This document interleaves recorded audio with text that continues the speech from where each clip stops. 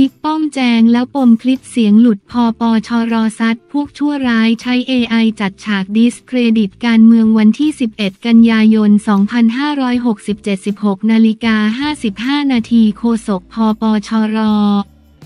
ยันคลิปเสียงใช้ AI จัดฉากดิสเครดิตบิ๊กป้อมซัดฝีมือนักการเมืองที่ไร้จริยธรรม ชี้การเมืองปี 67 ยังเล่นเกมใส่ร้ายต่อเนื่องวันที่ 11 กันยายน 2567 พลตำรวจโทปิยะโตวิชัยโฆษกพักพลังประชารัฐพปชร เปิดเผยถึงกรณีมีสื่อบางสำนักนำเสนอคลิปเสียงการพูดคุยที่โยงประเด็นถึงพลเอกประวิตยวงสุวรรณหัวหน้าพักและผู้บริหารระดับสูงของพักว่า เรื่องนี้ได้สอบถามข้อเท็จจริงไปยังพลเอกประวิตยและนายชัยวุฒิธนาคมานุสรรองหัวหน้าพักเป็นที่เรียบร้อยแล้ว ยืนยันว่าไม่ใช่เสียงการพูดคุยของตัวเอง เพราะไม่ได้เคยพูดคุยถึงเรื่องดังกล่าวตามที่คลิปเผยแพร่ออกมา จึงเชื่อมั่นว่า เป็นคลิปเสียงปลอมที่ทำขึ้นจากเทคโนโลยีทางดิจิทัล ด้วยระบบปัญญาประดิษฐ์ AI ที่จะเห็นว่าสามารถทำลอกเลียนแบบได้เสมือนจริง ทั้งเสียงและภาพ ซึ่งที่ผ่านมามักจะพบเห็นการทำคลิปในรูปแบบต่างๆ และล้อเลียน พลเอกประวิตยเล่นการเมืองต่างๆ มาอย่างต่อเนื่อง การนำคลิปเสียงออกมาสู่สาธารณะครั้งนี้ ควรมีการตรวจสอบก่อนเผยแพร่และวอนสื่ออย่าตกเป็นเครื่องมือหลงเชื่อของนักการเมืองที่ไร้จริยธรรม สร้างเรื่องมาเพื่อทำลายความเชื่อมั่นของประชาชนที่มีต่อพักพลังประชารัฐ เป็นการใช้วิธีชั่วร้ายเก่ามาทำลายระบอบประชาธิปไตย ผมคิดว่าในปีนี้เป็นปี 2567 แล้วไม่ใช่ปี 2539 ยังมีการเล่นการเมือง สาดน้ำเน่าสิ่งสกปรกใส่กันยังมีการเลี้ยงงูเห่าไทยสร้างไทย งูเห่าปอชอปองูเห่าพอปอชอรอ แล้วการเมืองของไทยจะพัฒนาใสสะอาด ประชาชนเชื่อมั่นในระบอบพักการเมืองได้อย่างไร ที่ชอบเล่นใส่ร้ายป้ายสีใส่กันพลตำรวจโทปิยะกล่าวโฆษกพักพลังประชารัฐกล่าวว่าการกระทำที่เกิดขึ้นโดยการใส่ร้ายป้ายสี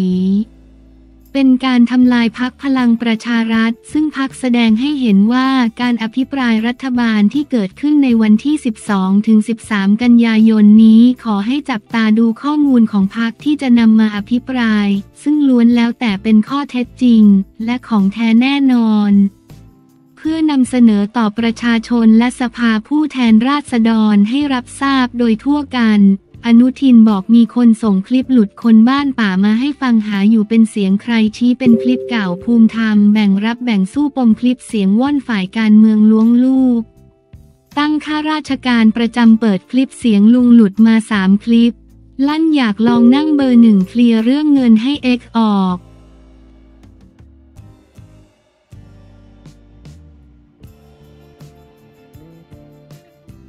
พี่ปูเล่าละเอียดยิบดราม่าแน็กกามินแจง work permit เสียภาษีหรือไม่ บันเทิงวันที่ 11 กันยายน 2567 21 นาฬิกา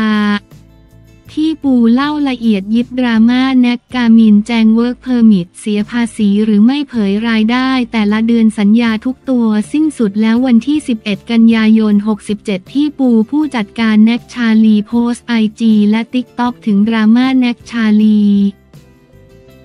กับกามินโดยระบุว่าเนื่องจากมีนักข่าวโทรมาถามข้อมูลเกี่ยวกับแนกและกามินจำนวนมาก ซึ่งปูเองก็รู้สึกเสียใจกับสถานการณ์ที่เกิดขึ้นจากการยุติความสัมพันธ์ของทั้งคู่ในตอนนี้ เพราะตลอดเวลาที่ผ่านมาน้องทั้งคู่อยู่ในความดูแลของปู ปูก็ยังคงรักและหวังดีกับน้องทั้งคู่เสมอมา และในที่นี้ปูขอพูดเรื่องที่เกี่ยวข้องกับการทำงานของทั้งคู่ที่ปูรับผิดชอบนะคะ เรื่องที่หนึ่งการมิน เข้ามาทำงานถูกกฎหมายหรือไม่ เรื่องขั้นตอนการเข้ามาทำงานในไทยของกามินนั้นปูและเปิ้ลได้แนะนำนักกฎหมายและนักบัญชีผู้เชี่ยวชาญด้านการทำงานของต่างชาติในไทย มาช่วยดูแลโปรเจกต์นี้ให้กับบริษัทชาลีเพื่อให้กามิน เข้ามาทำงานในไทยได้ถูกต้องตามกฎหมาย และให้ถูกต้องตามระเบียบต่างๆสำหรับเรื่องใบอนุญาตการทำงานนั้น เราได้ทำเอกสารครบถ้วนทุกขั้นตอนแล้ว ซึ่งมี 4 ขั้นตอนหลักๆ ดังนี้ 1. การขอ WP3 และนอน B2 การออกเล่มใบอนุญาตทำงาน Work Permit 3. การขอวีซ่าทำงานได้ 1 ปี 4. การขอ Multiple Entry ซึ่งตรงนี้ก็ต้องขอขอบคุณเจ้าหน้าที่ทุกหน่วย ทุกท่านด้วยอย่างมากค่ะ และณปัจจุบันทางบริษัทชาลีจะทำการแจ้งชื่อ การมินออกและสิ้นสุดการเป็นพนักงานในเดือนกันยายนนี้ค่ะ เรื่องที่สองการเสียภาษีของการมินถูกต้องหรือไม่ เรื่องภาษีและการหักค่าใช้จ่ายต่างๆ เราได้ตกลงและชี้แจงให้แนกและกามินทราบตั้งแต่ต้นและรายได้จากการทำงานของทั้ง กามินและชาลีจะรับเงินผ่านบริษัทชาลีตาม work permit ในส่วนการเสียภาษีของกามิน นั้นบริษัทชาลีได้หักหน้าที่จ่ายสำหรับรายได้กามินถูกต้องตามหลักการ จ่ายเงินได้ให้ชาวต่างชาติที่เข้ามาทำงานในไทย แต่อยู่ไม่ถึง 180 วัน ถูกต้องตามระเบียบแล้วค่ะ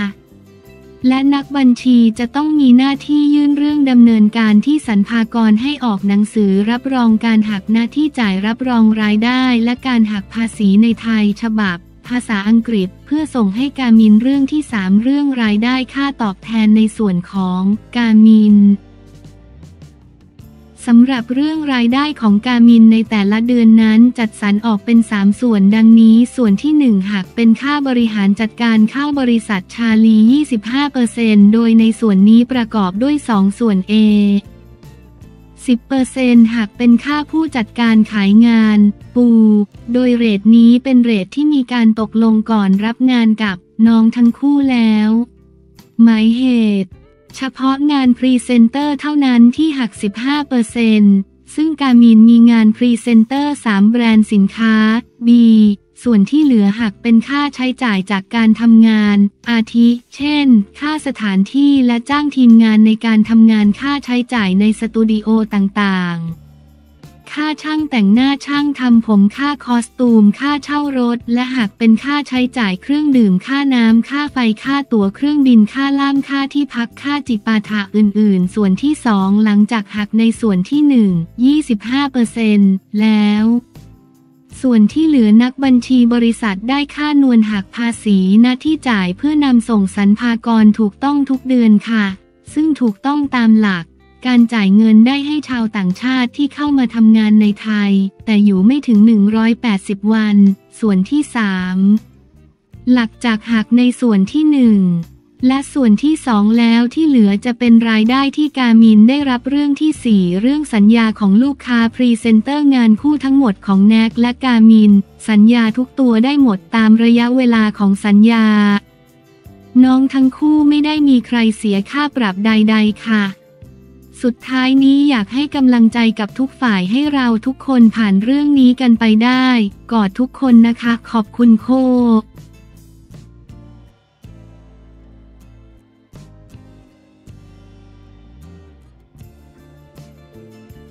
เฉลิมชัยสั่งลุยดูแลทรัพยากรสวลดึงเทคโนโลยีเสริมแกร่งเพิ่มประสิทธิภาพงานการเมืองวันที่ 11 กันยายน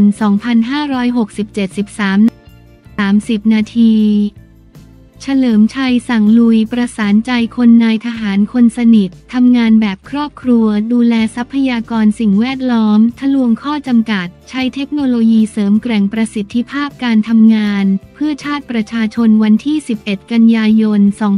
2567 นายเฉลิมชัยศรีอ่อนรัฐมนตรีว่าการกระทรวงทรัพยากรธรรมชาติและสิ่งแวดล้อม นายทหารคนสนิท เปิดเผยถึงนโยบายในการกำกับดูแลและบริหารงานว่า การขับเคลื่อนการทำงานของกระทรวงนายทหารคนสนิท จะเน้นการขับเคลื่อนภายใต้คำว่าครอบครัวที่เห็นอกเห็นใจเข้าใจใส่ใจผิดพลาด แก้ไขให้อภัยกันมุ่งให้ข้าราชการในสังกัดทำงานอย่างมีความสุข และสนุกกับงานที่ทำจึงขอให้ทุกคนร่วมมือร่วมใจกันทำงานอย่างเต็มที่ พื่อกระทรวงเพื่อประเทศชาติเพื่อประชาชนนับจากนี้ไปจะเดินต่อไปพร้อมกัน ในการสงวนอนุรักษ์ฟื้นฟูรักษาทรัพยากรธรรมชาติและสิ่งแวดล้อมของไทย และโลกอย่างยั่งยืนให้ได้นายเฉลิมชัยกล่าวว่าภารกิจของนายทหารคนสนิท มีจำนวนมาก แต่มีเจ้าหน้าที่น้อย โดยมีเจ้าหน้าที่ในสังกัดเพียง 70,055 คน แต่มีภารกิจต้องรับผิดชอบมาก เช่น เขตพื้นที่รับผิดชอบทั้งป่าและทะเล มากกว่า 100 ล้านไร่ เขตพื้นที่ทางอากาศทั้งประเทศ การจัดการน้ำทั้งน้ำใต้ดินได้แก่น้ำบาดาลและน้ำบนดินภายใต้การดำเนินการของกรมทรัพยากรน้ำ ลำน้ำสายหลักและลำน้ำสายรองทั่วประเทศทั้ง 77 จังหวัด รวมถึงการป้องกันและบรรเทาภัยพิบัติทางธรรมชาติทั้งประเทศ เช่น ไฟป่าดินโคลนถล่มและดูแลอุทยานทั้งทางทะเลทางบอใบไม้กอไก่ 156 แห่งสวนสัตว์พิพิธภัณฑ์สัตว์น้ำมากกว่า 8 แห่งสวนพฤกษศาสตร์ 5 แห่งพร้อมทั้งการยกระดับคุณภาพชีวิตประชาชน และเศรษฐกิจให้ดีขึ้นอย่างยั่งยืนรวมถึงการเพิ่มการมีส่วนร่วมจากทุกภาคส่วน และสร้าง อาสาทอสอมอ ภาคประชาชนมาเป็นอาสาสมัครพิทักษ์ป่า อาสาสมัครพิทักษ์ทะเล อาสาสมัครป้องกันไฟป่า อาสาสมัครเตือนภัยทางธรณีพิบัติ ให้อาสาเหล่านี้มีส่วนเข้ามาช่วยเหลือภารกิจของนายทหารคนสนิทแม้ปัจจุบันจะมีอาสา 266,538 คน แต่ก็ยังไม่เพียงพอ จึงจำเป็นต้องใช้เทคโนโลยีเข้ามาแบ่งเบาภาระงานของเจ้าหน้าที่ ที่มีอยู่อย่างจำกัดเพื่อให้ได้ข้อมูลที่แม่นยำรวดเร็วต่อการตัดสินใจ เพื่อให้ทันต่อการเปลี่ยนแปลงสภาพภูมิอากาศ และภัยพิบัติทางธรรมชาติที่รุนแรงขึ้น เพราะหากธรรมชาติถูกทำลายการฟื้นฟูให้กลับมาสู่สภาพเดิมนั้นยากมาก และบางอย่างก็ไม่สามารถฟื้นฟูได้ ในการทำงานจึงจะเน้นให้ข้าราชการขับเคลื่อน ประชาชนมีส่วนร่วมสื่อมวลชน ช่วยกระจายข่าวสังคมจะน่าอยู่ นายเฉลิมชัยกล่าวนายเฉลิมชัยกล่าวอีกว่าสำหรับตนนั้นอาจจะดูดุแต่จริง ๆ ไม่ดุเพียงแต่ค่อนข้างระเบียบและเอาจริงเอาจังกับการทำงาน แต่จะไม่จุกจิกยุ่งหยิงกับน้องๆ จะให้ทุกคนทำงานกันอย่างเต็มที่ เสนอความคิดเห็นแสดงความสามารถได้เลยยินดีรับฟังจึงขอส่งต่อกำลังใจให้ข้าราชการ และเจ้าหน้าที่นายทหารคนสนิท ทุกท่านได้มาร่วมมือร่วมใจเป็นหนึ่งเดียวกัน ช่วยกันพัฒนาและรักษาทรัพยากรธรรมชาติและสิ่งแวดล้อมให้คงอยู่สมบูรณ์สืบไปชั่วลูกชั่วหลาน